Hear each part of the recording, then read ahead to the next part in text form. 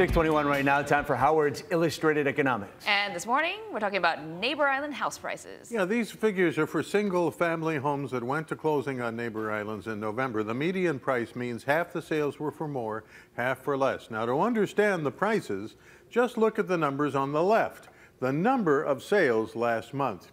Hilo, Kihei, and Kapa'a each saw only eight house closings, but Puna saw 84 triple any other neighbor island district because houses cost double or triple Puna prices in any other employment center or anywhere where you can drive to a job at a reasonable amount of time.